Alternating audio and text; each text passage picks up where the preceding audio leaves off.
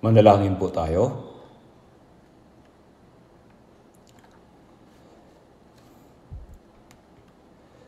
Mahabagin naming amang Diyos na sa amin ay nagmamahal,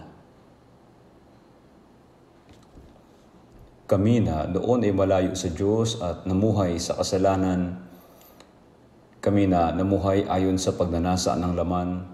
Ng mga puso'y naaagaw ng mga walang kabuluhang bagay, Pagaman kami ang nararapat tumanggap ng sumpa at kaparusahan, ang Panginoong Hesus ang tumanggap ng kahatulan at kaparusahan dahil sa dakilang pag-ibig ng Diyos at naglinis sa aming mga kasalanan magpakailanman sa pamamagitan ng mahalagang dugo na dumanak sa Panginoon.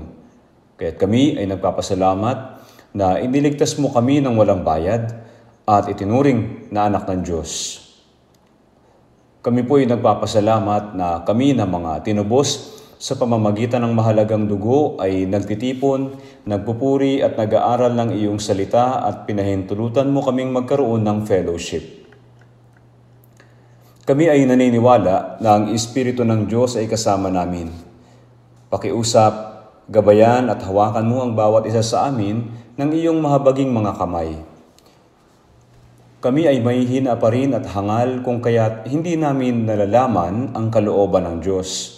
Maraming beses na kami ay namuhay ayon sa aming pag-iisip ng laman, kaya't pakiusap, hawakan mo po kami ng iyong salita at kapangyarihan ng Espiritu Santo. Gabayan mo po kami na magkaroon ng nararapat na buhay para sa kalooban mo, O Diyos, at kaluwalhatian, gaya ng banal at perpektong anak ng Diyos. Pakiusap, pagkalooban mo po kami ng karunungan upang maunawaan ang salita ng Diyos at ipahintulot mo po sa amin ang kapangyarihan at higit na katapangan. Idinadalangin po namin, hindi lamang sa salita, na kami ay mabuhay ayon sa iyong kalooban at kaluwalhatian, at ang Panginoon ang gagabay sa amin. Naniniwala po kami at nagpapasalamat sa iyo, Panginoon, na ang bawat church na nasa mahirap na sitwasyon sa buong mundo ay iyong iniingatan.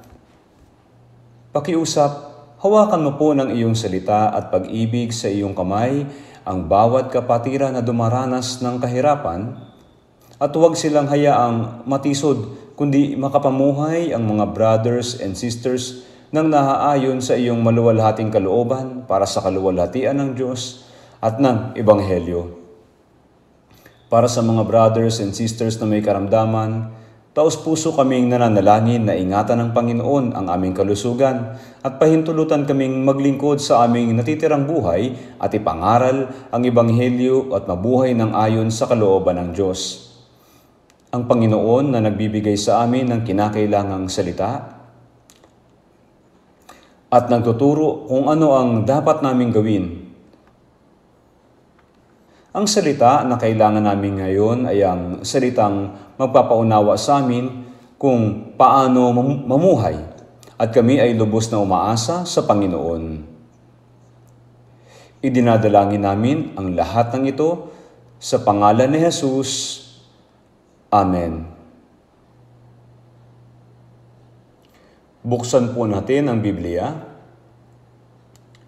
Efeso chapter 4. Efeso chapter 4. Chapter 4, verse 13 hanggang verse 16. Babasahin ko po. Efeso chapter 4 verse 13 hanggang 16. Babasahin ko po.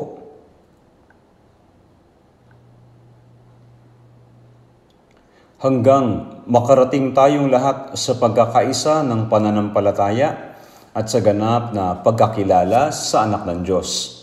Hanggang maging taong may sapat na gulang, hanggang sa sukat ng ganap na kapuspusan ni Kristo. Tayo'y huwag nang maging mga bata, na tinatangay-tangay ng mga alon at dinadala-dala ng bawat hangin ng aral sa pamamagitan ng pandaraya ng mga tao sa pamamagitan ng kanilang mga katusuhan sa paraang mapandaya. kundi humahawak sa katotohanan na may pag-ibig, lumago tayong lahat sa Kanya na siyang ulo, sa makatuwid ay si Kristo, na sa Kanya ang buong katawan na nakalapat na mabuti at nagkakaisa sa pamamagitan ng bawat litid ayon sa paggawa sa sukat ng bawat bahagi ay nagpapalaki sa katawan tungo sa ikatitibay ng sarili sa pag-ibig. Hanggang dito po.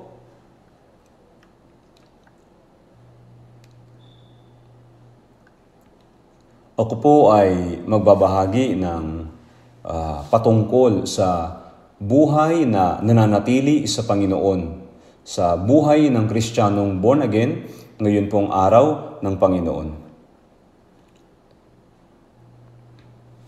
Mayroong mga patuloy na Bible seminars sa maraming churches sa ating bansa at lahat ng churches sa buong mundo ay masikap na nangangaral ng Ebanghelyo kung kaya't ang bilang ng mga bagong naligtas ay dumarami. Nalalaman natin na ang kalooban ng Diyos ay ang maligtas ang maraming kaluluwa sa pamamagitan ng pagpapalawak ng Ebanghelyo. Gayun din, ito ang tapat na pag-asa at layunin ng buhay ng mga naunang naligtas. Ang mga brothers at sisters ay sabay-sabay na lumalago ng tama bilang mga anak ng Diyos. At ang mga naunang naligtas ay dapat tulungan ang mga taong bagong naligtas na mamuhay ng tama bilang anak ng Diyos. Kapag ang taong naligtas ay hindi lumago ng tama sa pananampalataya at hindi namumuhay ng tama bilang anak ng Diyos, maraming bagay ang maaaring mangyari. Kung ang maraming bata,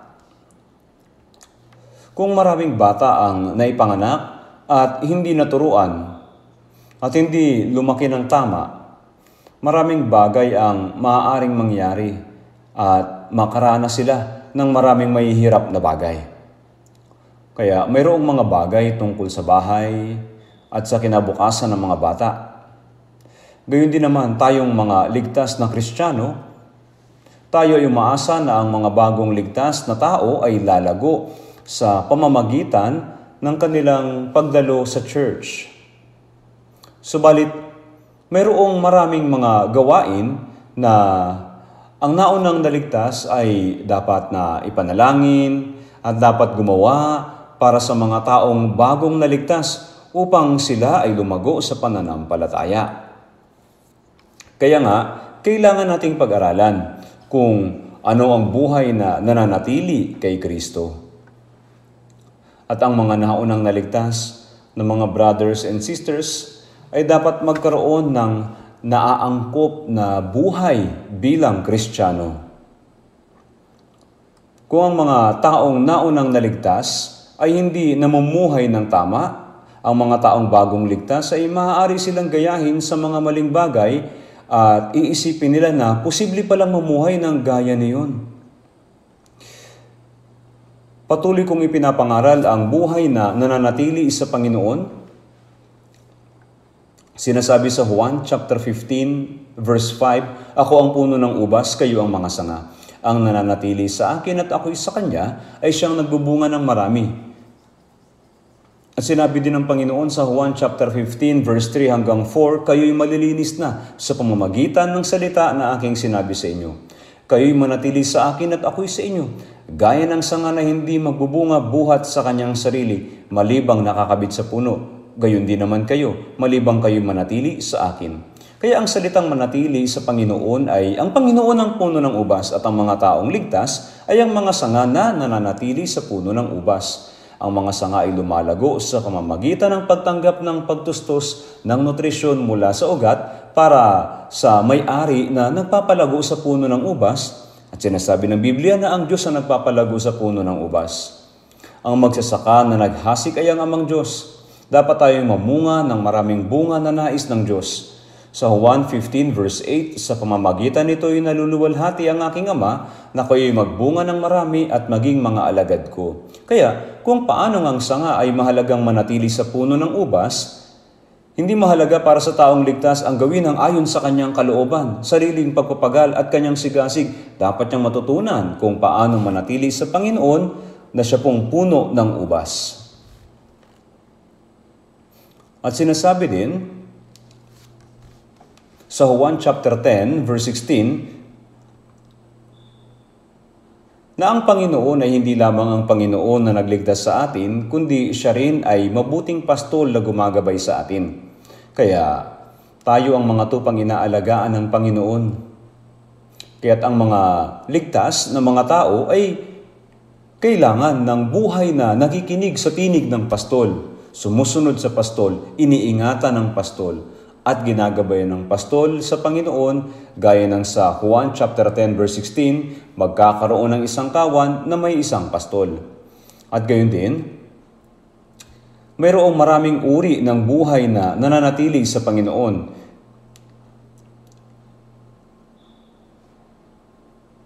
Isa sa mga ito ay sinasabi sa unang Korinto 12 verse 13, sapagkat sa pamamagitan ng isang espiritu ay binautismohan tayong lahat tungo sa isang katawan, maging Hudyo o Griego, mga alipin o mga laya, at tayong lahat ay pinainom sa isang espiritu. Ang isang katawan ay nangangahulugang si Jesus ang ulo at tayo ang katawan na nakakabit sa Kanya. Mayroon pong ulo at ang lahat ng iba't ibang mga bahagi na nakakonekta sa ulo ay tinatawag na katawan. Kaya nga, kaya tayo na marami ay isang katawan kay Kristo at mga bahagi na sama-sama sa isa't isa. Tinatawag din po natin itong katawan ni Kristo na siya pong iglesia. Kaya nga, dapat muna nating malaman na pagkatapos makatanggap ng kaligtasan, hindi tayo nag-iisa kundi kabilang sa grupo. Hindi mahalaga kung gaano kahirap ang ginagawa, kundi humahawak sa ulo. Naglilingkod sa Diyos na siyang ulo. Lumalago sa pamamagitan ng pagkukupkup ng Panginoon at nabubuhay ayon sa landas ng Panginoon na siya pong mahalaga. Dahil ang ulo ay isa, ang buong katawan ay nakikilos ayon sa utos ng ulo.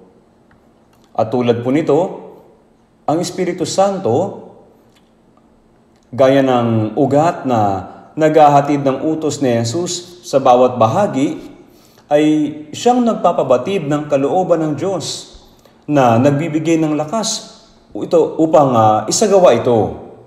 Kaya ang buha, ang mabuhay dito ay ang nabubuhay sa Panginoon. Sa totoo lang po, ang nabubuhay para sa Panginoon ay hindi nakikilala ng mga taong hindi ligtas. Kahit na ang mga ligtas na Kristiyano ay hindi ito alam hanggang sa matutunan po nila itong gawin. Ito rin ay napakahalaga, subalit ito ay isang lihim. Patuloy ko itong ipinapangaral, ang tungkol sa buhay na nananatili sa Panginoon at sinasabi ko sa inyo na ito ay napakahalagang bagay sa buhay ng isang Kristiyano. Sinasabi ko ito yamang mayroong mga Kristiyano na nakatanggap ng kaligtasan, subalit hindi nananatili sa Diyos. Kayo'y malilinis na sa pamamagitan ng salita na aking sinabi sa inyo. Kayo'y manatili sa akin. Ang dahilan kung bakit iniutos sa atin ito ni Jesus ay dahil mayroong posibilidad na hindi tayo manatili sa Kanya. Ang bata ay uh, natural na lumalaki sa bisig ng kanyang ina, sa pagmamahal ng mga magulang, inaalagaan ng buong pamilya. Hindi na kailangang utusan ng maliit na bata na manatili sa kanyang mga magulang, ang manatili sa loob ng pamilya at iba pa. Subalit kapag siya ay lumaki na, mayroong posibilidad na iwan niya ang kanyang mga magulang sapagkat sinusubukan nilang gawin ang nais nilang gawin. Subalit, karamihan ay walang magawa kundi ang manatili. Ang mga ligtas na Kristiyano ay mayroong ligtas ng kaluluwa, subalit hindi ang katawan. Ang kaluluwa ay naging anak ng Diyos, subalit hindi ang katawang laman. Hanggang sa araw na mabago tayo kapag dumating ang Panginoon, ay mayroon pa rin tayong lumang pagkatao. At ang mga problema natin ay naririyan pa rin. Kaya kapag hindi tayo namumuhay na sumusunod sa Espiritu Santo, maaaring hindi natin masunod anumang oras ang ating laman. Sa Galatia chapter 5 verse 16, subalit sinasabi ko, lumakad kayo ayon sa Espiritu at huwag ninyong bigyang kasiyahan ang mga pagnanasa ng laman. Ang paglakad kasama ang Espiritu ay hindi tayo hahayaan na mamuhay ayon sa laman. Subalit, ang mamuhay ayon sa laman ay ang paglakad laban sa Espiritu. Sapagkat maaari itong mangyari anumang oras, ang ating laman ay palagi nagsisikap na mamuhay ayon sa pagnanasa ng laman. Nagsisikap ang ating laman na mamuhay sa paraan kung saan tayo mas komportable, sa paraan na ninanais natin. Kaya maging ang mga born again Christians ay mayroong ganitong disposisyon o pagnanais kaya dapat nating pag-aralan ng lubusan kung paano tayo makakapanatili sa Panginoon at kailangan natin itong isabuhay. Ang Diyos ay tapat na sa pamamagitan niya ay tinawag kayo tungo sa pakikisama ng kanyang anak, si Yeso Kristo na ating Panginoon. Tinawag tayo, ibig sabihin tayo ay naligtas. At pagkatapos ng kaligtasan, ang sinasabi ni Jesus na dapat nating gawin ay ang magkaroon ng pakikisama o fellowship sa Panginoon. Fellowship, opo, tinatawag natin itong fellowship o relasyon. Kung titingnan po natin sa unang Juan chapter 1 verse 3, tunay na ang ating pakikisama ay sa Ama at sa kanyang anak na si Yeso Kristo. Kung ang sino man ay makatanggap ng kaligtasan, ay magkakaroon siya ng pakikisama sa Panginoon. At mayroon pang fellowship sa mga taong may fellowship kay Jesus. Atin, ibig sabihin, grupo ng mga naligtas. Ating pakikisama. Hindi ito tumutukoy sa fellowship sa pagitan ng uh, nating mga tao, kundi sa Ama at sa kanyang anak na si Yeso Kristo. At ang Espiritu Santo ang tumutulong sa atin upang magkaroon ng pakikisama sa Kanya. Ito ay sama-samang kumikilos, magkakasama. Ang nangunguna sa fellowship ay ang Panginoon at tayo ay naroon. Ang ibig sabihin ng kung sinasabi nating tayo may pakikisama sa Kanya at tayo lumalakad sa kadiliman, nagsisinungaling tayo. Ibig sabihin ang Diyos ay liwanag. Kung gayon, dapat magkaroon tayo ng pakikisama sa liwanag, sa salita, sa katotohanan. Gayunpaman, ang kadiliman ay kasulungat ng liwanag. Sinabi dito na ang pamumuhay sa laman at ang pamumuhay ng ayon sa sariling pamamaraan ay ang paglakad sa kadiliman.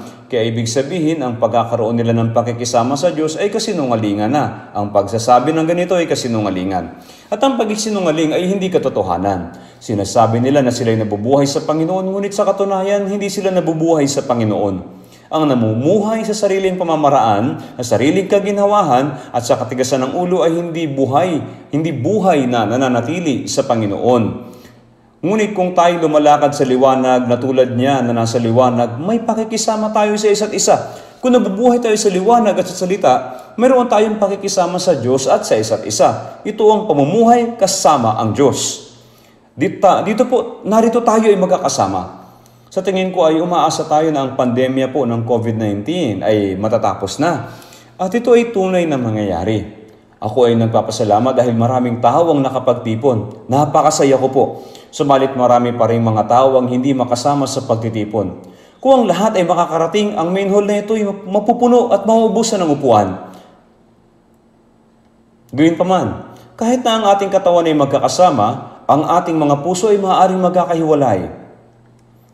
Tila iisa tayo kapag tayo ay nananalangin, nagpupuri, at kapag uh, tayo ay nakikinig ng salita ng Diyos. Subalit marahil ay mamumuhay tayo sa anumang ating naisin kung sisiyasatin natin kung paano tayo namumuhay. Hindi pa ito nagiging isa. Kaya ngayon, ipagpapatuloy ko pong ipangaral ang sermon tungkol sa ating buhay sa Panginoon. Kaya ngayon na po yung ikalabing isang sermon ng buhay na nananatili sa Panginoon at patuloy kong ibabahagi sa inyo patungkol dito ng higit pa. Kaya silang mga bagong naligtas ay dapat matutunan ang buhay na nananatili sa Panginoon. At maging sila na matagal na, uh, matagal na panahon ng naligtas ay dapat din siya sa atin kung sila ba ay tunay na nabubuhay sa Panginoon. Sinasabi po ng Biblia na ang buhay na nananatili sa Panginoon ay ang kapulungan kung saan kasama nating gumagawa si Jesus. Ito yung tinatawag na church. Ang salitang church po ay eklesya sa Griego. Ibig sabihin, grupo ng mga inihiwalay. Ang mga ligtas ay inihiwalay dito sa sanlibutan. Sinabi po ni Jesus, ngunit dahil kayo hindi taga sanlibutan, kundi kayo pinili ko mula sa sanlibutan. Ito ay ang pangkat ng, uh, ng mga inihiwalay. Gaya lamang ng pagkatawag ng Diyos kay Abraham mula sa lugar kung saan itinayo ang tore ng Babel at sumamba sa mga Diyos-Diyosan upang gumawa ng, mga, ng espesyal na tipanan pagkatapos siyang gabayan patungo sa kanaan. Tinawag ng Diyos sa mga taong ligtas mula sa sanlibutan upang mamuhay sila ayon sa kanyang kalooban at ayon sa kanyang alituntunin. Ito ang mga inihiwalay na tao. Tayo ang mga taong inihiwalay upang pumunta sa langit at para sa kalooban at kaluwalhatian ng Diyos. Dapat nating uh, dapat ninyong malaman na tayo ay mga taong inihiwalay. Tinatawag natin ang naligtas na saint o banal. Ang mga banal ay nangangahulugang banal na grupo. Ang mga naligtas na tao ay banal na grupo. Ang kabanalan ay pagkahiwalay mula sa kasamaan. Kaya nga tinatawag tayo na grupo ng mga inihiwalay. Kaya nga, Lumabas kayo sa kanila at humiwalay kayo at huwag kayong humipo ng anumang bagay na marumi. Kaya sa ikalawang Korinto, chapter 6, ang ating katawan ay nabubuhay dito sa sanlibutan. Subalit tayo ay hindi taga sanlibutan. Tayo ay mga taong inihiwalay. Lumalabas tayo mula sa kanila at humiwalay, humiwalay ang pangkat kung saan nananatili ang Panginoon. Hindi natin alam ang bilang ng mga tao. Ang bilang ay hindi, ga, hindi ma, magiging ganoon kalaki Maraming pumapasok sa malawak na pintuan, subalit sapagkat makipot ang pintuan at masikip ang daang patungo sa buhay, at kakaunti ang nakakatagpo niyon. Marami, kakaunti ang ganitong pagpapaliwanag ay naisulat po dito. Maraming tao ang hindi ligtas at napakakaunti ng mga taong ligtas. Mayroong maraming mga tinawag, tinatawag na Kristiyano, ngunit kakaunti lamang ang ligtas na Kristiyano. Maraming tao ang nagsasabi na sila raw ay mananampalataya, subalit mayroon lamang kakaunting tao ang nasa Panginoon na ginagabayan ng Espiritu Santo. Dapat ay kabilang ako sa isa sa mga grupong ito. Kaya ngayon ay dapat nating siyasatin ang ating pamumuhay at itanong ang mga ito. Meron ba talaga akong katanggap-tanggap na buhay bilang isang Kristiyano? Namumuhay ba ako sa buhay na nananatili sa Panginoon? Dapat nating obserbahan ang ating pagkilos sa pamamagitan ng salita ng Diyos. Pagkatapos maunawaan ang biyaya ng Diyos, tayo ng mga Kristiyano, sabay-sabay po tayo sapagkat sa pamamagitan ng isang Espiritu ay binautismuhan tayong lahat tungo sa isang katawan. Ang isang taong ligtas ay naging isang katawan. Ang katawan ni Kristo, hindi ito ang resulta ng anuman sa ating mga gawa. Ito ay mula sa perpektong biyaya ng Diyos. Kaya pagkatapos na matubos, Pagkatapos na maligtas, nakatanggap tayo ng iisang Espiritu. Ang taong ligtas ay nakatanggap na ng Espiritu Santo. Ang makatanggap ng iisang Espiritu at ang maging isang katawan na isang tiyak na resulta kapag tayo ay nasa Diyos. Kaya, sa unang Korinto 12 talatang 13, sapagkat sa pamamagitan ng isang espiritu ay binautismohan tayong lahat tungo sa isang katawan, maging Hudyo o Griego, mga alipin o, malaya, o mga laya, at tayong lahat ay pinainom sa isang espiritu. Kaya pakiusap, pag-isipan natin kung gaano kahalaga ang iisang katawan. Maaari bang sabihin ng kamay sa paa, hindi kita katawan? Kahit na sila ay magkakaiba, sila ay konektado sa isang ulo. At sila ay isang katawan. Ang taong ligtas ay isang katawan. Habang tayo ay konektado sa ulo, nakakatanggap tayo ng buhay. At tayo ay naging iisa sa pamamagitan ng parehong pag-ibig ng Diyos at salita ng Diyos. Kaya tayo ay may isang Diyos Ama, isang kapatid, na mayroong isang pananampalataya, isang pag-asa, at ang ating layunin sa buhay ay iisa. Sa nalalapit na panahon, tayo, ang mga taong mamumuhay na sama-sama sa langit, magpakailanman. Gaano kadakila na tayo ay iisa? Ang mga taong mamumuhay ng magkakasama sa langit ay kailangan na mamuhay rin na magkakasama sa lupa.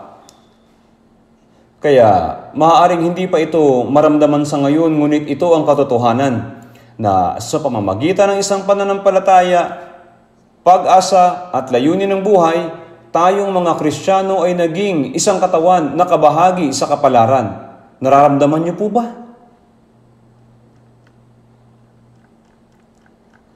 Kapag ang isang tao ay nagpakasal, Kahapon po, pinangasiwaan ko ang kasal ng dalawa nating kapatid.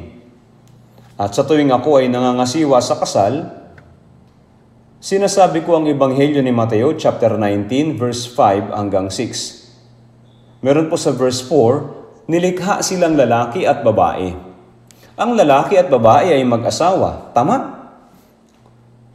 Nang si Adan ay nag-iisa, ang pamumuhay ng nag-iisa ay hindi nakakalugod sa mata ng Diyos at binigyan siya ng katuwang na nababa- nababagay para sa kanya. Kaya binigyan siya ng Diyos ng isang kapareha. Sa Mateo 19 verse 6, Kaya hindi na sila dalawa, kundi isang laman. Ang pinagsama nga ng Diyos ay huwag, huwag papaghiwalayin ng tao. Kapag ang dalawang tao ay nagpakasal, kilala ba nila ng lubos ang bawat isa bago sila magpakasal? Bawat isa ay sinilang na magka, ah, sa magkaibang pamilya.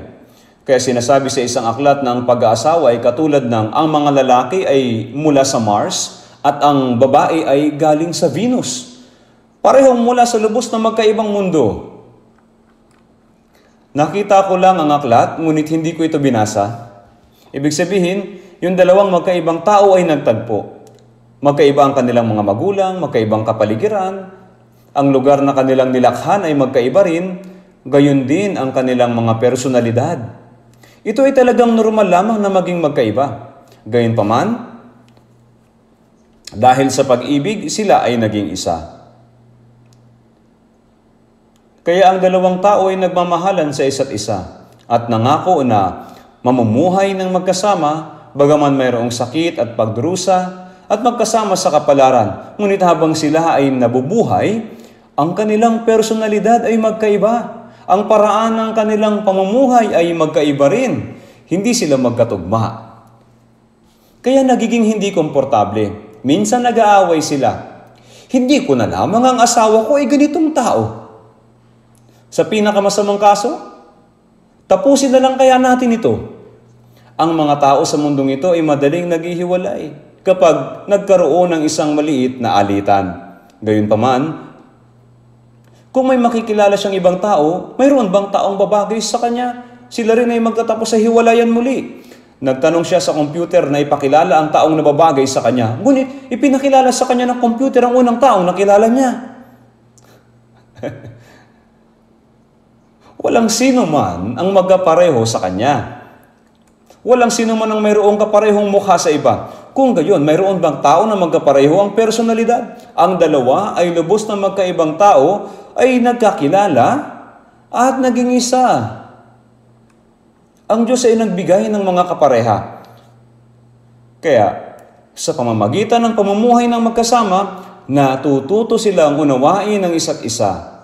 Makibahagi, magtulungan, magtiis, at habang nabubuhay sila para sa isa't isa, sigurado, unti-unti sila ay nagiging isa. Paglipas ng panahon, ang gusto nilang pagkain ay magiging magkatulad. Parehong personalidad na. Ang kanilang mukha unti-unting magiging higit na magkatulad. Kaya kalaunan, magkakaroon sila ng mga anak at palalakihin sila. At sa huli, ang mga anak ay umaalis sa kanila at tahanging matatandang may puting buhok, lola at lolo na lang ang maiiwan. So meron po bang problema sa ganito? Meron po bang problema? Wala po. Mahal, labis kang nahirapan. Huwag ka munang umalis. Dapat sabay tayo. Minamahal nila ang isa't isa. Iginagalang ang isa't isa. Nagdadamayan, pinaprotektahan ang isa't isa. Ngayon, wala ng pagiging makasarili. Ito ang banal na pag-ibig. Hindi na ito makalaman at emosyonal na pag-ibig. Ito ay isang relasyon na nakasalig sa pag-ibig ang mga Kristiyano rin ay kailangan na unti-unting mabago mula sa pagiging makalaman at emosyonal upang magkaroon ng personalidad na katulad ni Jesus. Sa isang bagay na walang hanggan at perpekto. Kaya nga, hindi tayo naging isa dahil sa tayo ay perpekto. Tinawag tayo ng Diyos upang maging isang katawan, bagaman tayo ay nasa isang di perpektong kalagayan, may problemang kalagayan, habang nananatili tayo, unti-unti tayong magiging perpekto. Kaya huwag muna kayong magreklamo ngayon dahil sa hindi pa kayo ah, compatible sa isa't isa. Huwag na munang magreklamo. Tayo na mga naligaw at lumihi sa sariling daan, lahat tayo ay magkakaiba. Walang dalawang tao ang magkatulad. Kaya ngayon, ang mga Kristiyano ay isang katawan kay Kristo. Nakasakay na tayo sa iisang bangka. Kaya kahit na tayo ay magdusa, nagdurusa tayong sama-sama. Tayo ay nagtitiis ng mga kahirapan ng sama-sama. At tayo ay gumagawa ng may pagkakaisa, ng may pagsisikap para sa Panginoon. Nagkaroon tayo ng parehong buhay at mayroon tayong parehong pag-asa mayroon tayong parehong layunin sa buhay.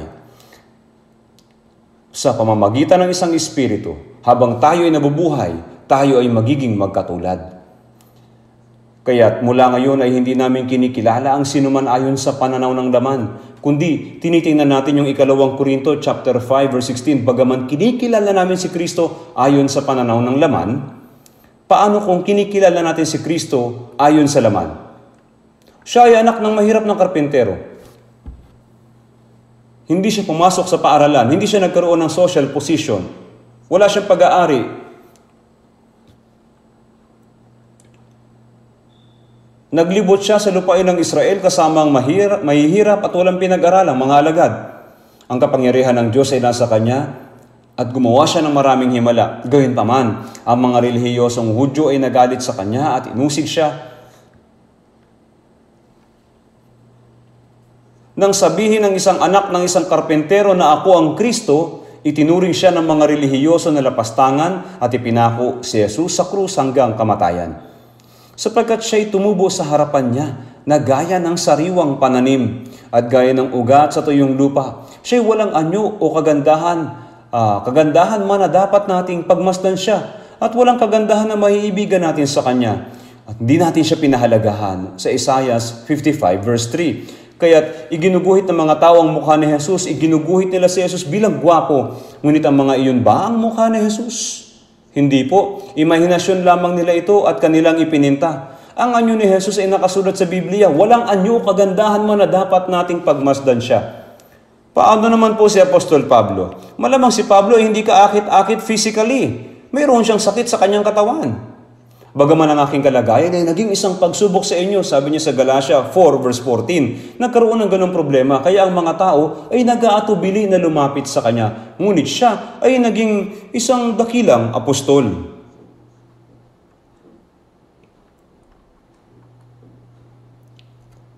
Kaya't mula ngayon ay hindi namin kinikilala ang sinuman ayon sa pananaw ng laman.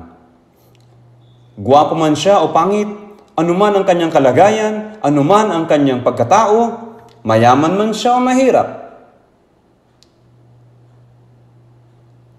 Lahat ng mga ito ay bagay ng laman. Lahat ng ito ay mawawala matapos ng ilang sandali. Tayo ay pinanganak ng muli at mayroon tayong parehong buhay, pag-asa at layunin. Kaya tayo ay magiging isa. Kaya dapat mong malaman ito ng malinaw.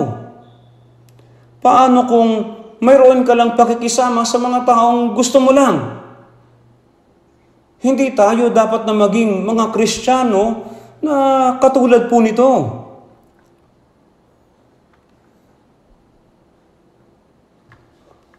Kaya't kung ang sino man ay na kay Kristo, siya'y bagong nilalang. Ang mga lumang bagay ay lumipas na. Tingnan ninyo, ang lahat ay naging bago. Kaya tayo mga bagong nilalang kay Kristo. Ang mga lumang bagay ay lumipas na. Tingnan ninyo, ang lahat, ang lahat ay naging bago. Tayo ngayon ay mga bagong nilalang sa Panginoon.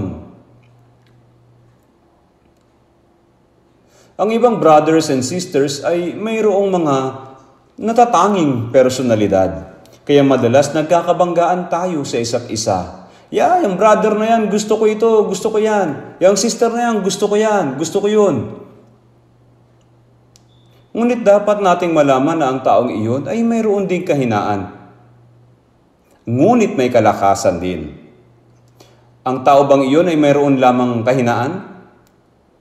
ang taong iyon ay maaaring magkaroon ng mas maraming mabubuting bagay. Hindi mo dapat binabaliwala ang mga kalakasan ng tao at i-highlight ang mga bahagi na hindi tugma sa iyo. Ang mga politiko ay mayroong mabubuting puntos. Ngunit ang mga tao, ang binabantayan lamang nila ay yun lamang mga kahinaan ng mga politiko. Wala ka bang anumang kahinaan? Kaya,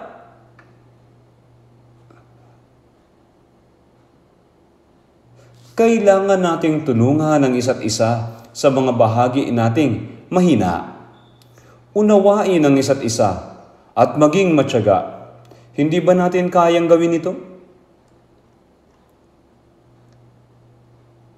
Tingnan natin sandali ang unang Korinto, chapter 12. Unang Korinto, chapter 12. Unang Korinto, chapter 12, verse 25. Unang Korinto, chapter 12, verse 25, upang huwag magkaroon ng pagkakagulo sa katawan, kundi ang mga bahagi ay magkaroon ng magkakatulad ng malasakit sa isa't isa, upang huwag magkaroon ng pagkakagulo sa katawan. Tama ba? Maaari bang mag-away ang kanan at kaliwang kamay? Nilagay ng kasintahan ng engagement ring sa kanyang kaliwang kamay pagkatapos nagsalita ang katabing daliri. Bakit mo inilalagay ang singsing sa daliring ito? Hindi mo ba pwedeng ilagay ito sa akin? Bakit mo sinusuot ang singsing sa iyong kaliwa, hindi sa kanan? Nag-aaway ba ang mga daliri? Kung ilalagay mo ang singsing sa iyong kaliwang kamay, hinahawakan ito ng iyong kanan. Ha? Binigay ito sa akin ng aking kasintahan. Ang buong bahagi ay nagagalak. Kapag ang isang bahagi naghihirap, lahat ay naghihirap na kasama niya. Kapag ang isang bahagi pinarangalan, sama-samang nagagalak ang mga bahagi. Kaya tinamaan ng martilyo ang kanyang daliri habang nagpapako. Kaya sabi niya, aray! Pagkatapos ay pumunta siya kaagad doon sa ospital o ang kanyang kabilang kamay ay mabibigay ng first aid. Naglalagay ng gamot at inahawakan ito. Sinasabi ng isang daliri, pinarusahan ka dahil sa pagpapanggap mong mabuti. Bakit mo nilagay ang iyong kamay sa ilalim ng martilyo, ha? Siya sabihin ba ito ng daliri mo? Upang huwag magkaroon ng pagkakagulo sa katawan kundi ang mga bahagi ay magkaroon ng magkakatulad na malasakit sa isa't isa. Tinutulungan ang isa't isa sa katawan at walang pagkakagulo. Ngunit bakit maraming pagkakagulo sa church? Mayroon bang problema? Mayroon talagang problema. Wala ka bang anumang problema? Perpekto ka ba upang hatulan ng iba? Kaya nga, dapat nating seryosohin ang ating pong church life. Kaya maging ang mga batang uh, ipinanganak sa isang magulang,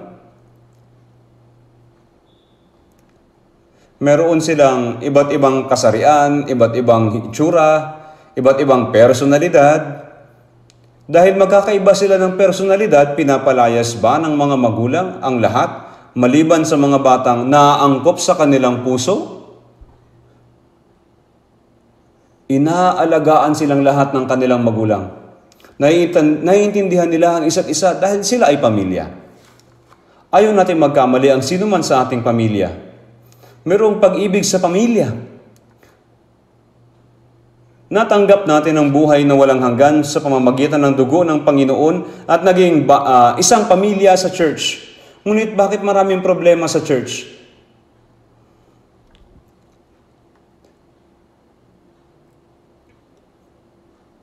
Ang maging isa sa espiritu ay higit na mahalaga kaysa laman at dugo.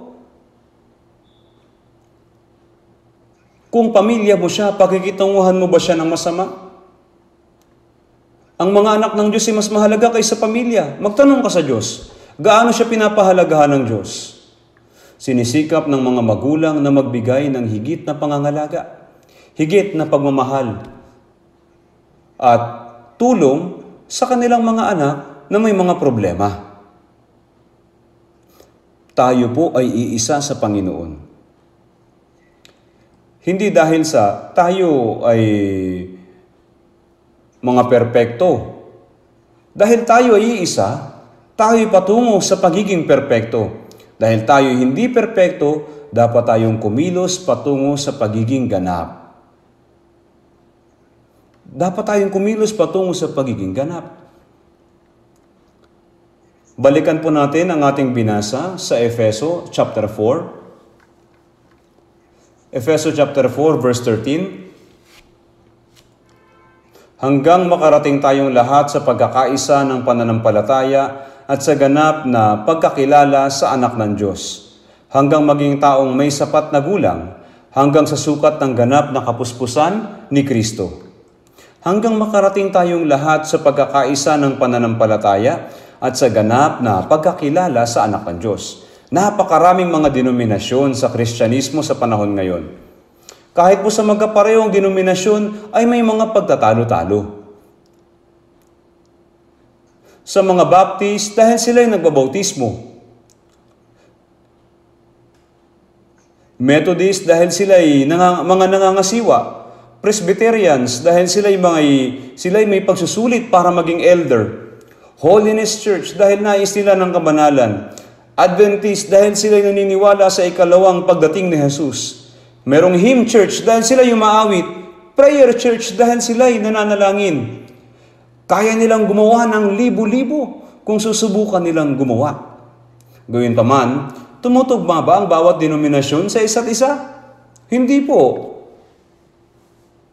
Hindi sila tugma sa isa't isa. Tapos may nagsasabi na, kung ganun, bakit sila tinatawag na Baptist Church? Kung wala namang pangalan ng church, sila'y makikipagtalo pa rin. Tayo po ay nakatira sa Korea, kaya ginagamit natin ay Korea. At dahil tayo naniniwala kay Jesus, Jesus, tayo ay binaba, tayo binautismohan, kaya Baptist. Kaya ang ating church ay tinatawag sa Korea na Korea Jesus Baptist Church o JBCH. Kapag ipinanganak ang isang tao, siya ay dapat bigyan ng pangalan. Tama po? Subalit kapag may taong nagtanong tungkol sa pangalan na siya'y sumagot na wala akong pangalan, kung kayo magtataka yung taong nagtanong, bakit wala siyang pangalan? Hindi normal ang taong ito. Katulad nito, may taong nagtataka tungkol sa atin kung anong denominasyon daw tayo. At tayo sumasagot na hindi kami kabilang sa mga churches. Kapag ganito, nagtataka sila tungkol sa ating church. Sa katunayan, hindi po ito sekta. Ito ay sapat na kung isa ang ating pananampalataya at kaalaman, dahil iba ang nalalaman ng mga tao, kaya iba rin ang kanilang pananampalataya. Kung tayo nagmamasid, maaari natin makita ang mga denominasyon na puno ng maling doktrina, ng maling pananampalataya. Kung mayroong maling doktrina sa Ebanghelyo na pinakamahalaga, tinatawag natin itong maling pananampalataya. Ngunit kahit na ang doktrina ay tama, Ngunit kung minsan walang buhay, problema rin ito. Eh nagkalat po sila. Kaya hanggang tayong lahat ay makarating sa pagkakaisa ng pananampalataya at ng kaalaman. Ang pananampalataya ay maaaring maging isa sa pamamagitan ng pagkakaisa ng pananampalataya at ng kaalaman. Dahil kung ano ang alam nilang mahalaga, ang pinaniniwalaan ng mga tao nang hindi nalalaman ay tinatawag natin na pamahiin. At kung ano ang ginagawa nilang may pagnanasa kahit na hindi nila alam ang katotohanan, tinatawag naman natin itong panatisismo. Sila ay nababaliw dahil maaari silang mamatay para sa ala na hindi umiiral. Halimbawa, sila ay panatisismo sa relihiyon. Ano ba, ano ba yung budismo? Wala namang bagay ng pananampalataya sa budismo. Kung titingnan po natin ang aklat ng budismo, walang salita na dapat gawin ng mga tao ang imahe ng Buddha. Sinabi ng Buddha na dapat maniwala ang mga tao sa Kanya? Hindi. Walang bagay na maaari nating paniwalaan, ngunit bakit maraming yumuyukot na nanalangin sa Kanya? Ito ay isang pamahiin at pagsamba sa Diyos-Diyosan. Ang mga naniniwala kay Jesus ay may pusong relihiyoso na may ugali na manalangin sa harap ni Buddha noon. Kaya inisip nila na mas mainam lang ang Diyos kaysa kay Buddha. Kaya ang kanilang panalangin ay halos pareho sa mga taong nananalangin sa harap ni Buddha. Dahil naka, nakaugalian nilang manalangin na sumasamba sila sa mga Diyos-Diyosan noon. Sa mundo ng Kristyanismo, nag-aaway-away sila. Noong unang panahon, maraming mga Katoliko ang nagsabing naniniwala daw sila sa Diyos at naniniwala daw kay Jesus. Pero marami silang napatay na mga Kristiyano, hindi po ba?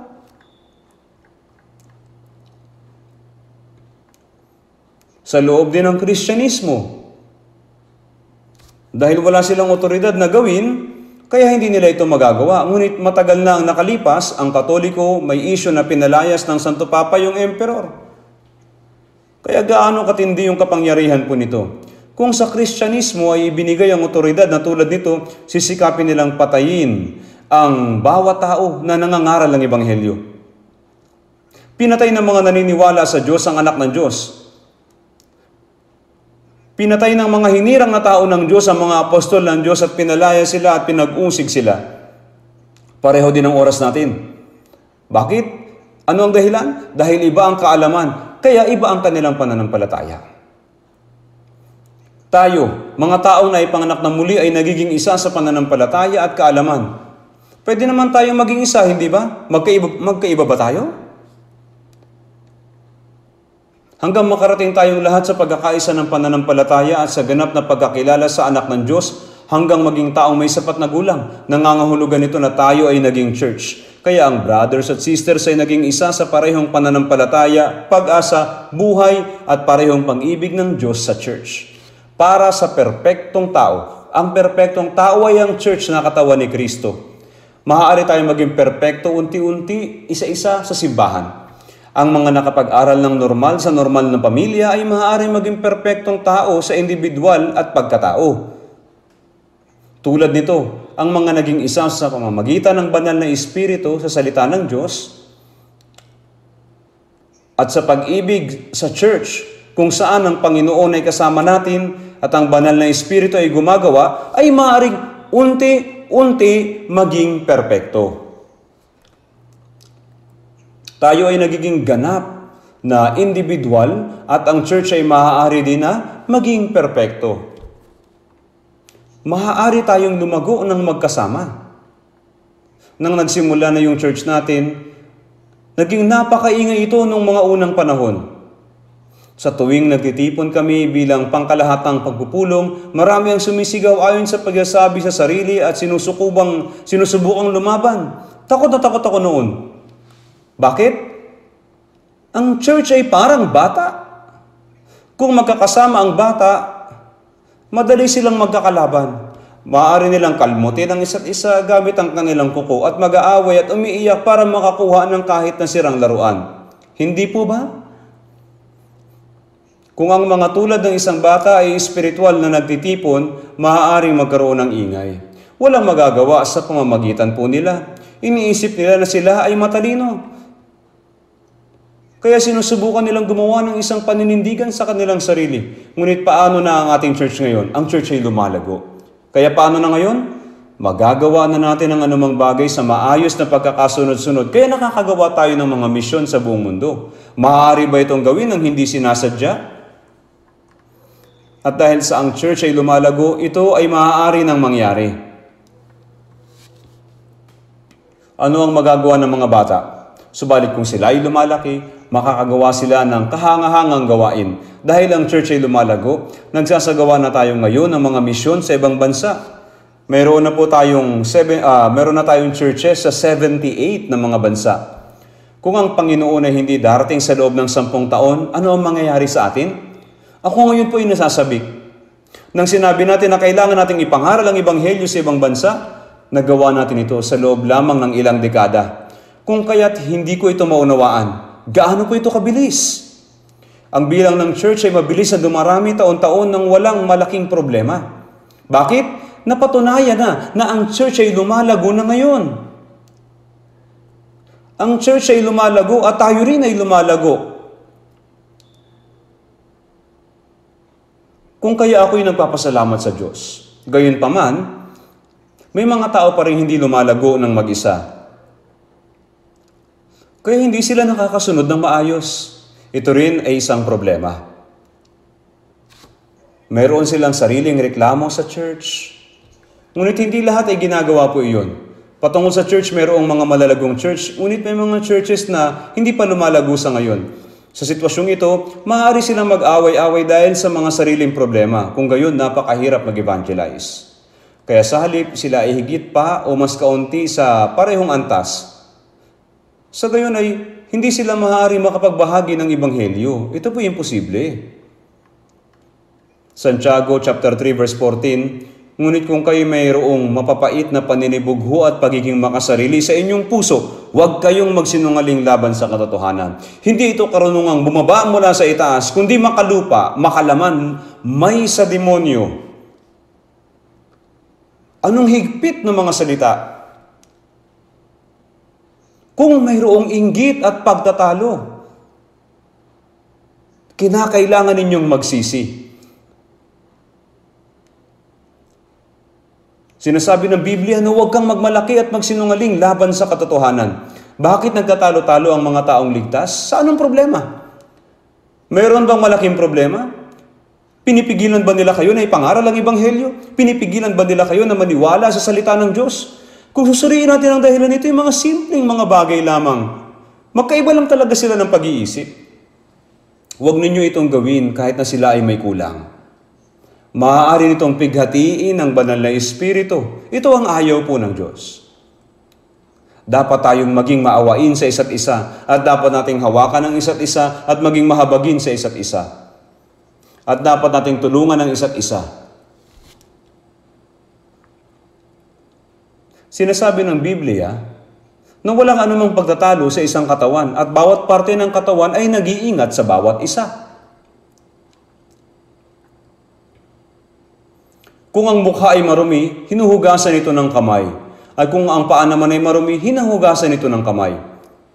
At kung ang kamay ay dapat na gumawa, matutulungan po ito ng paa.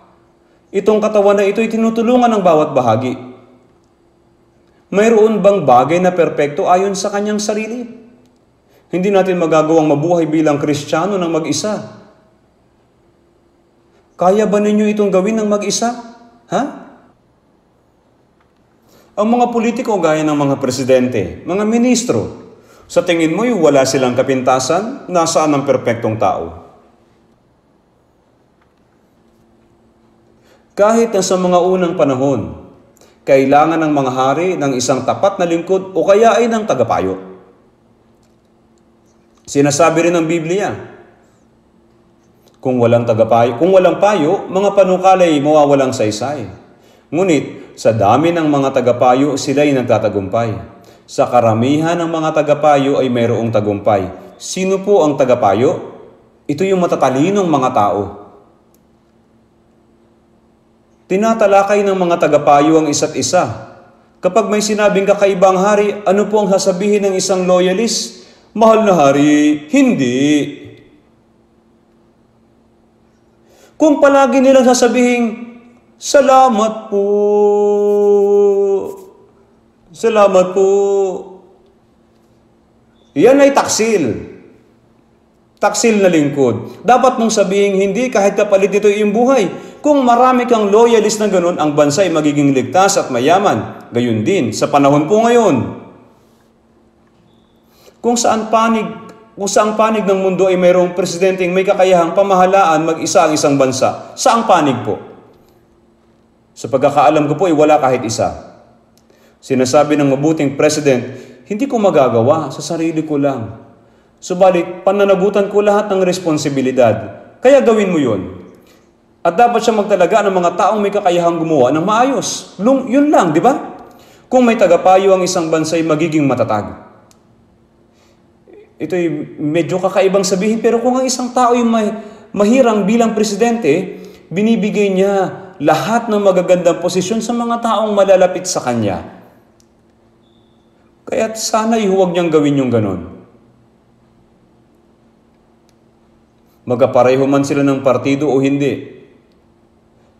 Siya na nagwawagi ng kaluluwa ay matalino. Kailangan niyang maghanap ng tapat, matalino, kapakipakinabang at matapat. Sa pamamagitan noon, siya'y magtatagumpay magtatagumpay. Kaya gayon din sa church.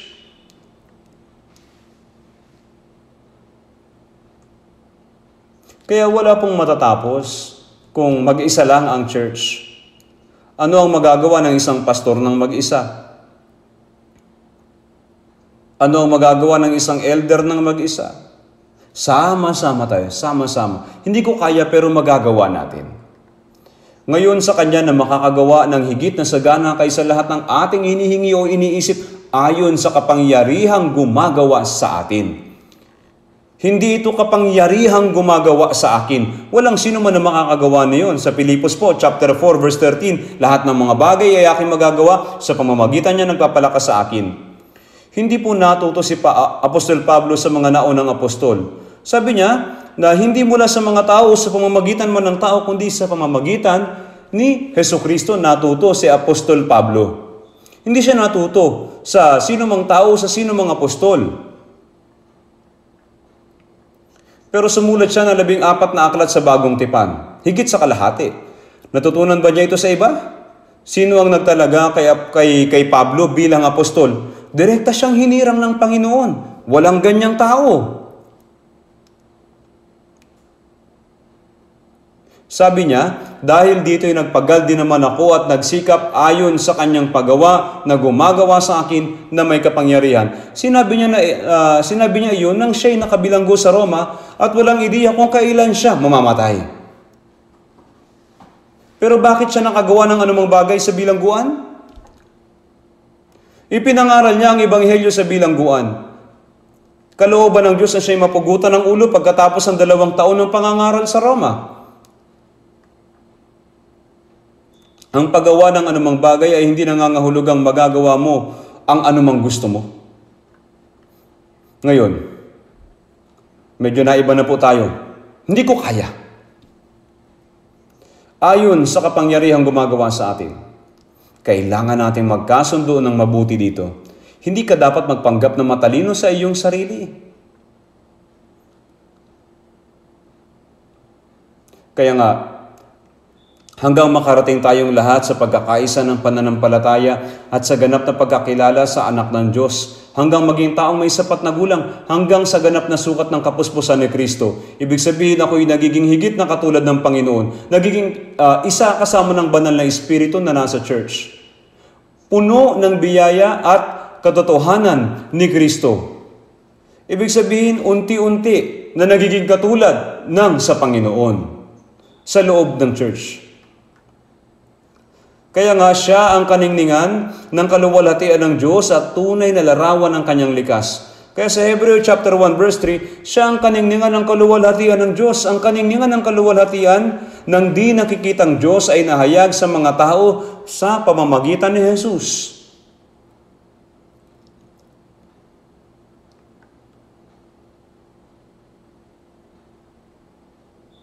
Puno ng lahat ng kapuspusan ng Panginoon. Siya'y sakdal tayong mga naligtas ay nagiging higit na katulad ng Panginoon.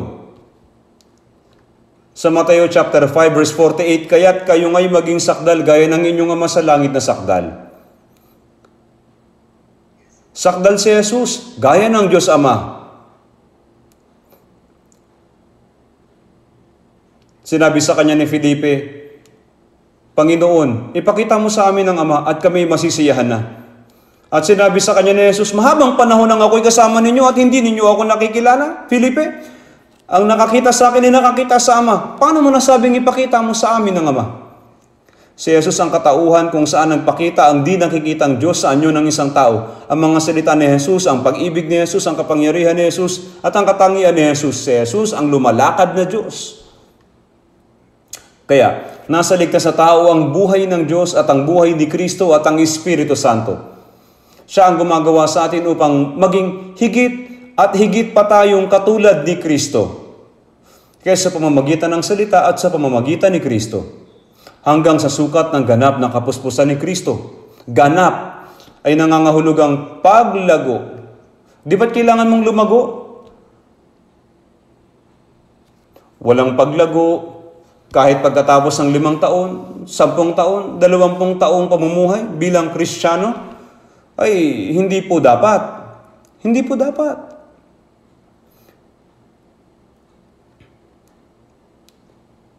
Yun pong larva ng sikada ay nagiging ganap na sikada sa loob ng pitong taon. At unti-unti tayong nagbabago. At sa pagdating ng Panginoon, ang ating mga katawan ay babaguhin gaya ng maluwalhating katawan ng Panginoon. At bago mabago ang katawan, dapat magbago ang ating panloob ng pagkatao.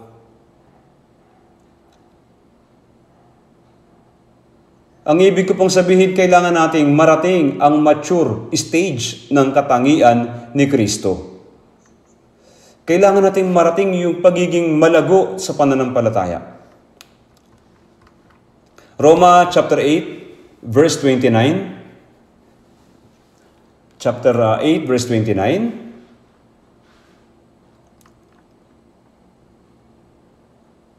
Roma chapter 8, verse 29.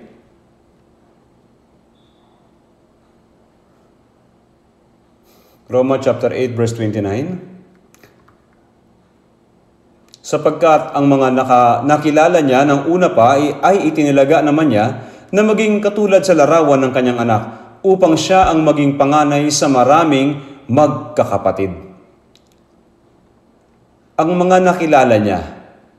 Alam ng Diyos na si Adan ay gagawa ng kasalanan.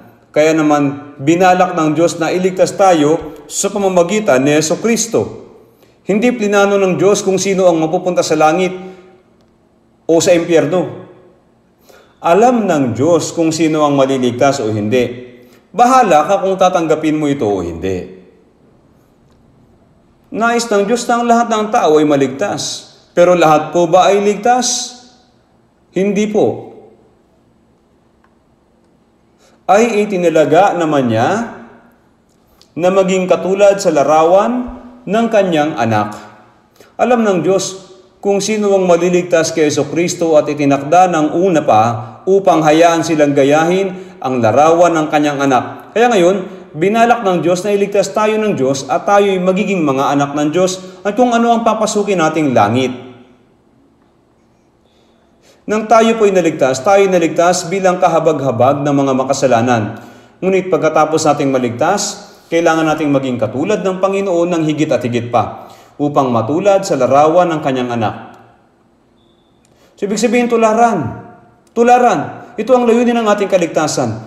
Bakit ginawa ng Diyos na maging anak tayo ng Diyos? Upang maging katulad ng larawan ng kanyang anak, upang siya ay ang maging panganay sa maraming magkakapatid.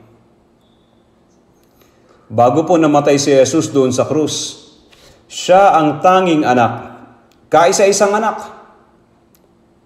Kaya maliban na ang butil ng trigo ay bahulog sa lupa at mamatay, ito ay mananatiling nag-iisa. Ngunit kung ito'y mamatay, ay nagbubunga ng marami. Namatay ang tanging anak at maraming anak na lalaki ang isinilang. Bago namatay si Jesus, siya ang tanging anak at pagkatapos ng kanyang muling pagkabuhay, siya ay naging panganay na anak sa maraming magkakapatid. Kaya't iyon ang sinabi ni Jesus sa babaeng pumunta sa kanyang libingan. Sinabi niya kay Maria Magdalena, Sinabi ni Jesus, pumunta ka sa aking mga kapatid at sabihin mo sa kanila, Akit ako sa aking ama at inyong ama sa aking Diyos at inyong Diyos. Ang aking Ama at inyong Ama. Ang Diyos at ang aking Diyos. Iyon ang sinabi ni Jesus ka sa babaeng pumunta sa kanya sa libingan. Sinabi niya kay Maria Magdalena. Sa Hebreo chapter 2 verse 11, sapagkat ang gumagawang banal at ang mga ginawang banal ay pawang nagmula sa isa. Dahil dito'y hindi nahiya si Jesus na tawagin silang mga kapatid. Isang kamanghamanghang salita po ito. Ang panganay sa maraming magkakapatid.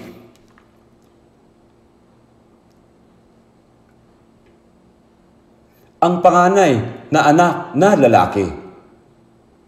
Kung gayon tayo'y mga munting anak, naging panganay si Jesus. Kaya ano ang dapat gawin ng mga munting anak?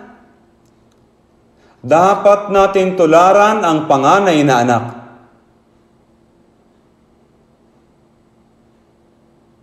Kadalasan, nakikita ng nakababatang kapatid ang ginagawa ng kanyang kuya at pilit itong ginagaya. Si Jesus ang larawan ng Diyos, siya ang larawan at kaluwalhatian ng di nakikitang Diyos. Nakita natin si Jesus sa pamamagitan po ng salita, ang banal na Espiritu ang gumagawa upang tayo'y maging gaya ni Kristo ng higit at higit pa. Iyon po ang panganay na anak. Sa pamamagitan ng pag-ibig ng Diyos, sa pamamagitan ng salita, Ang Panginoon ay ang panganay sa maraming magkakapatid. Siya po ang halimbawa. Si Jesus ang halimbawa ng kanyang anak. Ibig ko pong sabihin ay modelo. Dapat tayong maging higit pang katulad ng Panginoon paunti-unti. Ano pong palagay ninyo? Sa palagay niyo ba, uh, ako'y nagiging higit na katulad ng Panginoon? Kung ang layunin ng pagliligtas ng Diyos ay tularan ng larawan ng kanyang anak, ano ang ating pag-asa ng tayo po'y naligtas? Ang layunin ng aking hiling ay panalangin at panalangin ay maging tulad ng Panginoon. Ang hangarin natin ay maging katulad ng Panginoon. Ano ang hangarin ng isang born-again Christian? Kailangan ba natin kumita ng maraming pera at mamuhay ng magandang buhay bilang mayaman? Layunin ko bang mabuhay at mamatay? I- iyon ba ang ating hiling? Hindi po. Gusto mo bang humawak ng mataas na posisyon? Hindi po. Eh ano ngayon? Nais nating mas maraming kaluluwa ang maligtas kaya ipinapangaral natin ang Ebanghelyo dahil ito ang nais at kinalulugdan ng Diyos. Natutuwa ka lang ba kapag nakikita mong naligtas ang iba? Hindi po. Kailangan ko maging katulad ng Panginoon ng higit at higit pa. Ang maigting na hangarin nating mga Kristiyano ay maging katulad ng Panginoon ng higit pa. Tama po ba? Gaano man ito kagusto ng Diyos, dapat natin itong gustuhin. Kailangan natin itong gustuhin. Gaano man tayo kanais na iligtas ng Diyos, kung ayaw nating maligtas, hindi tayo maliligtas. Kung paanong ninanais ng Diyos na hubugin tayo ayon sa larawan ni Kristo at tularan ng larawan ng kanyang anak, kailangan din natin itong naisin. Kung gusto natin, tutulungan tayo ng banal na Espiritu upang unti-unti tayong mabago at maging higit na katulad niya sa pamamagitan ng salita, pag-ibig at kapangyarihan po ng Diyos. Yun ay para matupad ang kahilingan po na yun. May ilang pong ligtas na, sabi nila, mabuti naman, tapos pumupunta sila ng church, kumakanta ng ilang himno, binabati ang mga kapatid. Kahit ayaw nila mag-offering, pero nag-offering sila ng ilang halaga. Ganyan din ang ginagawa ng mga pagano. Minsan, ginagawa nila ito ng mas mabuti pa. Yun nga lang, kung titingnan ko ang mga pagano, ang mga Muslim ay natayo din ng marami mga Muslim mosque noong unang panahon. Nang magpunta po ako sa Myanmar, nakakita ako ng may daan-daang ribulto ni Buddha sa Buddhist temple. Tapos sa tuktok, ang gusali patuloy na kinakabitan po yung tuktok. Kaya maging ang mga taong sumasamba sa mga Diyos-Diyosan at multo ay nagbabayad ng malaking halaga para gawin iyon. Gayon lang ba ang dapat gawin ng mga nananampalataya kay Jesus? Kung hindi tayo mamumuhay ng maayos, lahat po ng ito ay walang kabuluhan sa paningin ng Diyos. Wala hong kabuluhan sa paningin ng Diyos kung hindi naman tayo namumuhay ng maayos. Ang ating mga puso at panloob na pagkatao ay nagiging higit at higit pang gaya ng sa Panginoon. At kung ano ang sinasabi at ginagawa natin ay dapat na unti-unting maging higit at higit pang gaya ng sa Panginoon. Kaya sa unang Juan 2, talatang 6, ang nagsasabing siya'y nananatili sa Kanya ay nararapat ding lumakad gaya ng Kanyang paglakad. Ang mga nananampalataya na ang Panginoon ay nasa akin at ako ay sa Panginoon ay nag-iisip na gaya ng Panginoon, nagsasalita na gaya ng Panginoon, kumikilos gaya ng Panginoon, umiibig gaya ng Panginoon, nagpapakumbaba gaya ng Panginoon. Hindi ba nararapat na kayo, na tayo ay maging higit at higit pang tulad nito? Minsan ay mahinaon tayong gaya ng Panginoon. Ngunit kapag mayroong humawak sa atin, umiinit ang ulo natin. Lahat ay lumalabas na. Halimbawa po yung isang pusa, kapag may nagbigay sa pusa ng pagkain, at pagkatapos ng pusa ay gumalaw, inahawakan lang nila ito sa pamamagitan ng taong katabi niya. Kabilang po ito sa isang pamilya ng tigre. Ang tigre po ay isang uri ng pusa. Ang pusa po ay kabilang sa pamilya ng tigre. Mabangis po na hayop yan. Kapag hinawakan ng pusa, umiinit ang ulo nito. Ang mga aso rin po ay kabilang sa pamilya ng mga lobo. Ang mga tao ay may ugaling gaya ng sa hayop.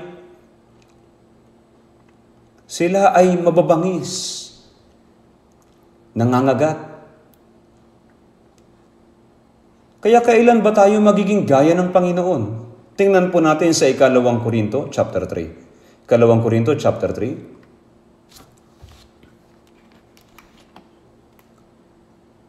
Ikalawang Korinto chapter 3 verse 18.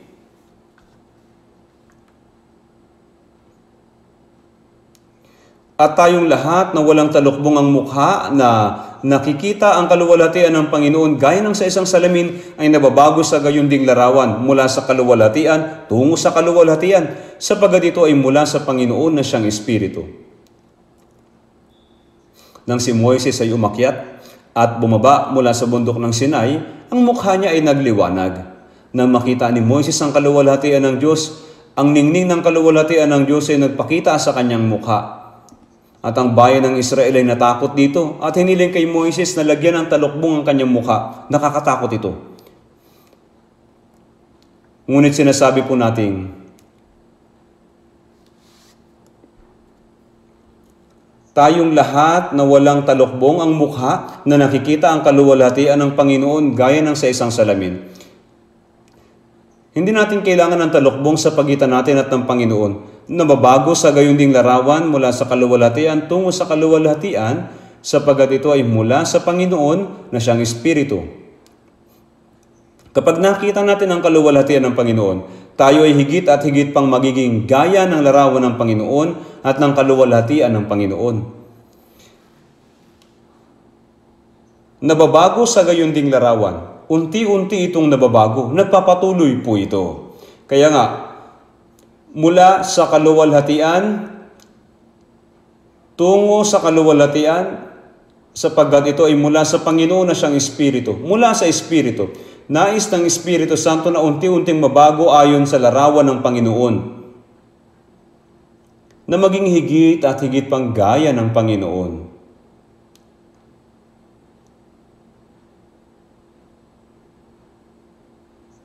Sino man nagsasalita ay gawin iyon ng tulad sa nagsasalita ng mga aral ng Diyos. Sino man naglilingkod ay tulad sa naglilingkod mula sa kalakasang ibinibigay ng Diyos.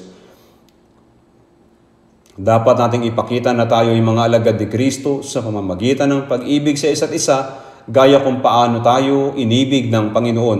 Hindi dapat na nababago tayo. Hindi ba? Dapat nababago tayo paunti-unti.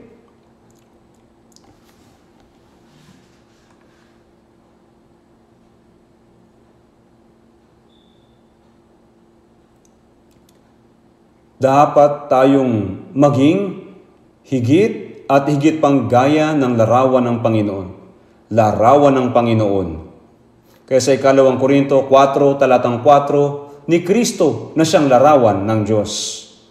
Ngayon, dapat nating tularan si Kristo, tingnan ng Panginoon.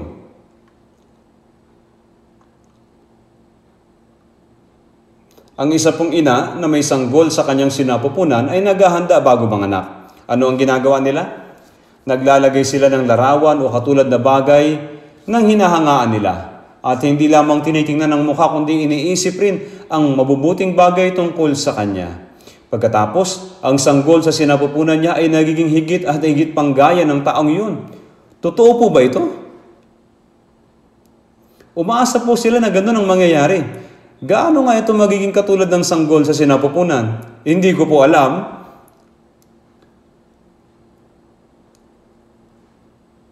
Sino po ba ang kamukha ng mga monghe? Kamukha sila ni Buddha. Gaano kamukha, kamukhang maawain si Buddha?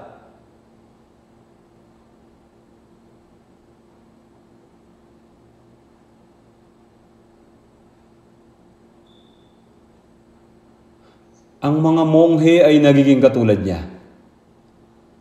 Mukha silang maawain, mukha silang mahabagin sa lahat ng aspeto. Mukhang ganoon din sila sa panlabas.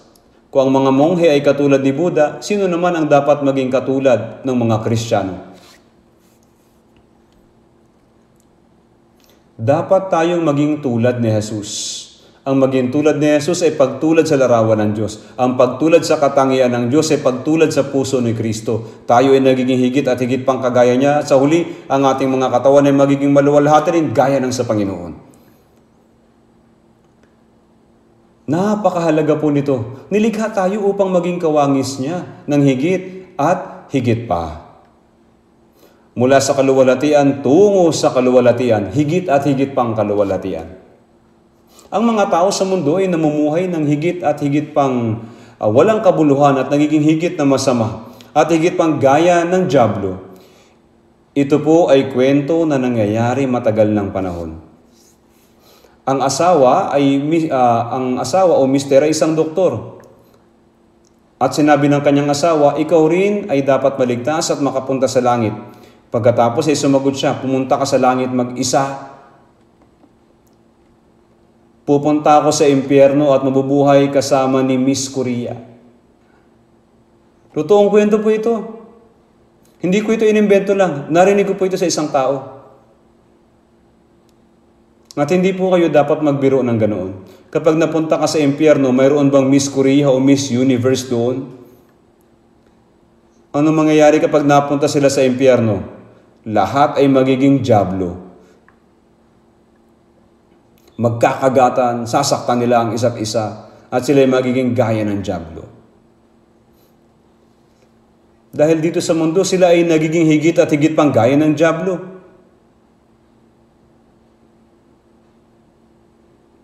Ano ba ang katulad ng katawan natin dito sa mundo? Bagaman ang aming panlabas na pagkatao ay nabubulok, ang aming panloob na pagkatao ay binabago araw-araw. Binabago araw-araw. Nagiging gaya ng alin po? Dapat tayong maging higit at higit pang gaya ng Panginoon. Pang, ang panlabas na pagkatao ay kumukulubot at nangihina, ngunit ang panloob na pagkatao ay binabago araw-araw. Nangangahulugan na habang hinihintay mo ang araw na makaharap ang Panginoon, ikaw ay nababago bilang taong karapat dapat na makapasok sa kaluwalhatian. Ito po ang kahulugan ng paglago ng pananampalataya. Kaya sa Roma 8.17, at kung mga anak ay mga tagapagmana rin, mga tagapagmana ng Diyos at mga kasamang tagapagmana ni Kristo, tayo ay mga tagapagmana. Kung tunay ngang nagtitiis tayong kasama niya upang tayo luwalhatiin naman kasama niya. Kaya tayo ay mga luluwalhatiin kasama ni Kristo ang mga taong luluwalhatiin kasama ni Kristo ay dapat maging higit at higit pang gaya ni Kristo. Ano ang dapat nating gawin upang maging kagaya ni Kristo? Dapat tayong sumunod. Ang pagsunod ay may kalakip na kahirapan at sakripisyo. Upang maging higit na gaya ng Panginoon, dapat nating tiisin ang anumang kahirapan at sakripisyo. Kahit na makuha mo man ang lahat ng bagay sa mundo, anong pakinabang po noon kung wala naman itong kinalaman sa Panginoon?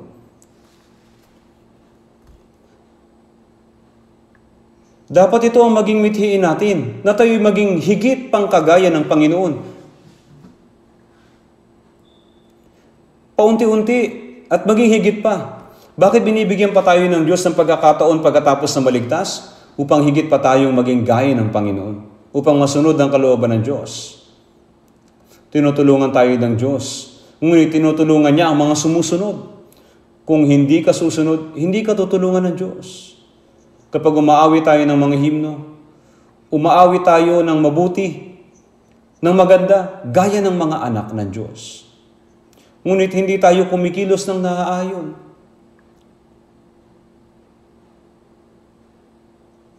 Wala man lamang tayong pagnanais na sumunod. Kung ganoon ay susukuan kayo ng Diyos.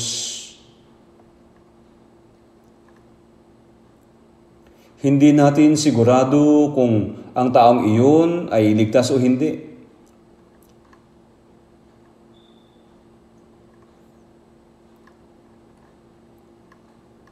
Kapag dumating po ang Panginoon, kung titingnan po natin sa Hebreo chapter 1 verse 6, sinasabi po na, at muli ng kanyang dinadala ang panganay sa daigdig. Sa unang pagdating, dumating siya bilang bugtong na anak. Ngunit sa ikalawa niyang pagdating, siya na ang panganay na anak. At muli, ng kanyang dinadala ang panganay sa daigdig. Nabasa po natin at muli,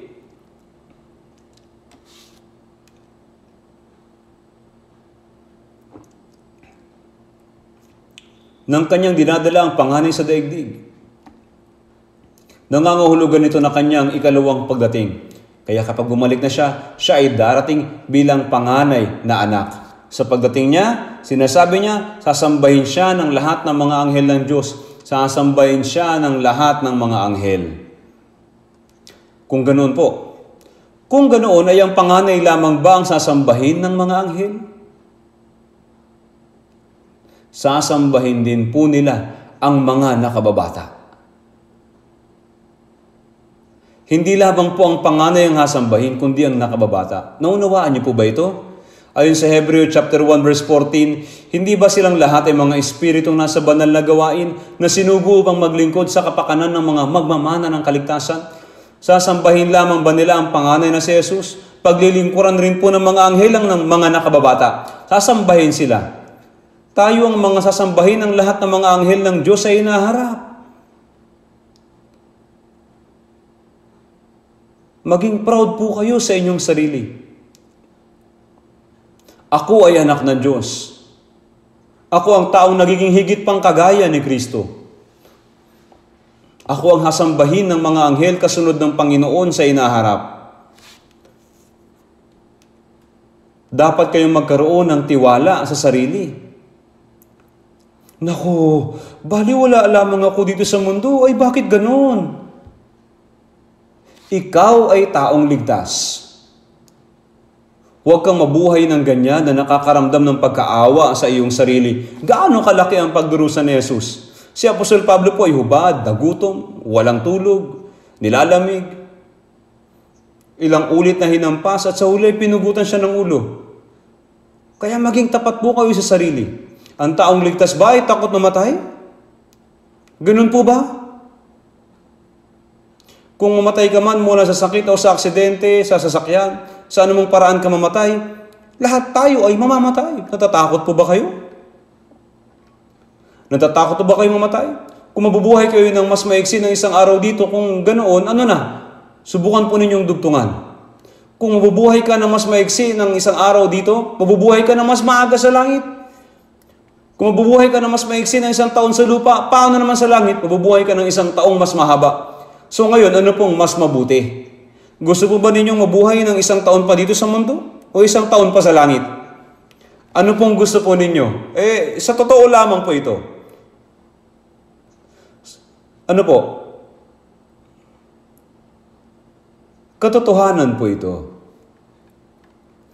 Bakit po ba kayo natatakot mamatay? Ang mga tao dito sa mundo iniisip na ang kamatayan ang katapusan ng lahat at kawalang pag-asa. Sinasampalatayanan natin na ang kamatayan ng isang Kristiyano ay ang simula ng walang hanggan. Ang kalugihan ng mundo ay ang pagsilang ng buhay na walang hanggan. Pagkatapos na makagraduate po sa universidad ng pagdurusa, papasok ka sa universidad ng buhay na walang hanggan. Nakalimutan na po ba ninyo Mapapalad ang mga patay na namamatay sa Panginoon mula ngayon. Oo, sinasabi ng Espiritu, sila'y magpapahinga sa kanilang mga gawa sapagat ang kanilang mga gawa ay sumusunod sa kanila. Kaya ang ating mga pagpapagal dito sa mundo ay magtatapos at papasok tayo sa walang hanggang kapahingahan sa kaluwalhatiang iyon. Ngunit huwag po ninyong subukang mamatay kaagad. Bago tayo magtungo doon, dapat muna tayo maging tulad sa Panginoon at dapat na gumawa para sa Panginoon kaya napaka-miserable po kung nabuhay lamang kayo dahil, dahil hindi pa kayo namamatay at nabubuhay lang kayo upang sumunod sa kasakiman ng mundong ito. Isang miserableng bagay po ito na ang isang Kristiyano ay nabuhay lamang para sa kanyang sarili. Kaya pasensya na po at uh, hasabihin ko ito, ngunit sumpa po ang buhay na yan. Kung nabubuhay ka lamang para sa sarili mo, mabubuhay ka para sa sarili mo at mamamatay ka para sa, sa sarili mo. At ano po ito? Para saan po ito? Kung nabubuhay tayo sa Panginoon, tayo nabubuhay. Kung namamatay tayo sa Panginoon, tayo namamatay. Mabuhay man tayo, umamatay. Tayo sa Panginoon.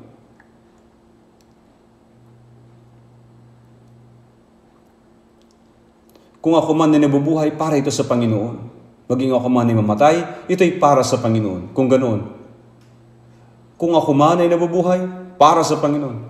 Maging ako man ay mamatay, ito'y para sa Panginoon. Mabuhay man ako o mamatay, ako'y sa iyo. Kung ganun, kunin man tayo kaagad ng Panginoon o kung gamitin pa tayo ng kaunti ng Panginoon dito sa mundo, ilagay natin ito sa kanyang mga kamay. Ano pa ang kinakatakutan po natin? Ang ating pananampalataya ay higit pang lumalago ngayon. Kaya, Kailangan ko na lamang pong tingnan ang isa pang talata sa Biblia sa Efeso chapter 4. Chapter 4, verse 14. Huwag tayo'y huwag nang maging mga bata na tinatangay-tangay ng mga alon at dinadala-dala ng bawat hangin ng aral sa pamamagitan ng pandaraya ng mga tao sa pamamagitan ng kanilang mga katusuhan sa paraang mapandaya. Huwag na tayong maging mga bata dahil hindi na tayo mga bata. Ang iglesia po ng uh, iglesyang ito ng Efeso ay lumago na ng kaunti ngayon. Sa pamamagitan ng pandaraya ng mga tao, sa pamamagitan ng kanilang mga katusuhan, sa paraang mapandaya. Kaya bilang isang bata, habang naglalaro sa playground, may isang matandang lalaki ang lumapit at nagsabi, Bata, Bata, bibigyan kita ng ice bar. Halika. Pagkatapos, ice bar? Ice bar? Tapos susunod sa kanya at mahuhuli kung magkakamali siya. Merong isang medyo matanda nang nagsabi, ang taong yan ay kakaiba. Huwag kang sumama sa kanya, kailangan ko siyang isumbong. Kahina-hinala siya. Kung kaunti lang ang alam mo, huwag kang padaya ngayon. Gaano na lang mapanukso ang jablong ito? Nanunukso sa maraming paraan. Alam niyo po ba yun? Hinahati niya ang puso ng mga kapatid sa pamamagitan ng pagtatalo-talo sa isa't isa. Binibigyan sila ng mga huwad na katuruan na magdudulot sa kanila na muling mahiwalay. Meron po tayong ganitong ilang mga usapin. Kapag ang ating pananampalataya ay lumago, ay hindi na tayo mahuhulog sa mapandayang panunokso at hindi na tayo nakikilos sa pamamagitan ng lahat ng hangin ng aral o nagpaparoot parito paman. Noong nakaraang linggo, narinig ba ninyo ang isang taong nangangaral, tatlumpong taon na nakakalipas? Ha? Sabi ko, panoorin ang sermon online mula sa bahay. Wala tayong anumang dahilan na magpunta sa church kundi manatili sa bahay. Kaya pinakinggan nila ito, tapos nakatulog. Ano po ang nangyari? ang pananampalatayang yun ay mamamatay. Totoo po. Hindi ko alam kung bakit ko nasabi yun eh. Hindi ko alam kung sino gumawa ng ganun. Talagang namatay ang kaisipan ay nawala na. Dapat tayong magsama-sama. Dapat tayong magsama-sama. Tunay po na kailangan magsama-sama. Upang maging isa, kailangan natin tipunin ang ating mga katawan, ang ating puso, ang ating isip, at ang ating lakas upang magkaroon ng parehong kaisipan at parehong layunin. Magkaroon kayo sa inyo ng ganitong pag-iisip na na kay Kristo Jesus din naman. Ang puso ni Jesus, larawan ni Kristo, ay dapat paunti-unti na mabuo sa atin. Kung gayon, kayo ay hindi makikilos sa pamamagitan ng mga yung kagaya ng tinatangay-tangay ng mga alon at dinadala-dala ng bawat hangin ng aral.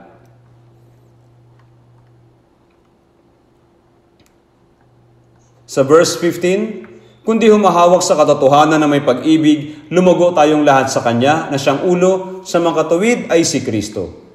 Humahawak sa katotohanan na may pag-ibig. Tunay na bagay po ito Gawin ang katotohanan, lumakad sa katotohanan, lumago sa Panginoon. Sa lahat ng bagay at maging sa Kanya sa lahat ng bagay. Ano pong ibig sabihin nitong lumago? Upang maging higit na gaya ng Panginoon? Sa Colossus 1.6 na dumating sa inyo, gayon din naman kung paanong ito ay namumunga at lumalago sa buong sanlibutan, ay gayon din naman sa inyo mula ng araw na inyong marinig at maunawaan ang biyaya ng Diyos sa katotohanan kaya mula ng araw na tayo ay maligtas, lumalago tayo, namumunga tayo at lumalago. Sa lahat ng bagay ay lalago kayo sa Kanya. Ang buong buhay natin ay mababago kapag tinularan natin ang kaisipan ni Jesus. Kung mabaguhin natin ang ating kaisipan, ako'y magiging higit at higit pang gaya ng Panginoon. Ang iniisip ninyo, sinasabi at ginagawa ay dapat na maging higit at higit pang gaya ng Panginoon. Kaya nga sinabi ni Jesus sa Mateo chapter 11 verse 29, Pasanin ninyo ang aking pamatok at matuto kayo sa akin. Sapagkat ako'y maamo at may mapagpakumbabang puso.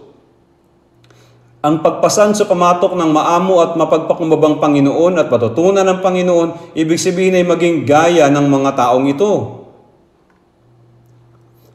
Sa Filipos 2 verse 5, magkaroon kayo sa inyo ng ganitong pag-iisip na na kay Kristo Jesus din naman. Kaya paunti-unti po lumalago tayong lahat sa Kanya na siyang ulo. Sa makatuwid ay si Kristo. Sa makatuwid ay si Kristo. Ang ulo, ang katawan ninyo ay kumikilos saan man naisin ang ulo. Pagkatapos ang katawan ninyo ay magiging maayos. Subalit, sinabi ni Jesus na ang ulo ay ulo at ang katawan ay katawan. Anong uri ng church po ito? Sa verse po 16,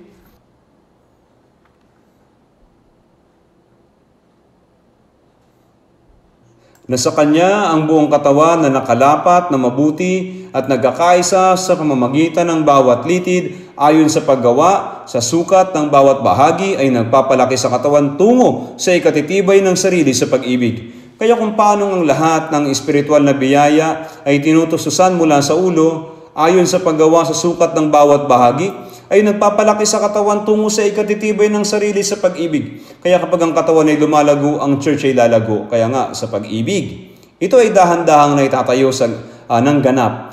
Ito ang mithiin ng Christian life. Ito ang layunin ng uh, Christian life. Ito ang layunin ng ating kaligtasan. Dapat ninyo itong gawin.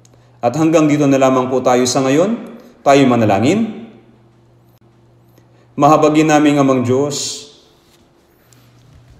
Salamat po sa biyaya na tinawag kami ng Diyos at iniligtas kami mula sa maraming tao sa sanlibutan sa katapusan ng panahon na iyong itinakda. At kami ay inihiwalay mo bilang mga banal upang mamuhay ng nararapat sa biyaya ng Diyos sa natitira naming buhay upang ang aming puso at buhay ay maging higit at higit pang gaya ng Panginoon at mapuspos o mapuno ng larawan ni Kristo at sa nalalapit na hinaharap, tulungan mo po kami na maging karapat dapat na makibahagi sa iyo pong kaluwalhatian. Idinadalangin namin ito sa pangalan ng aming Panginoong Heso Kristo. Amen.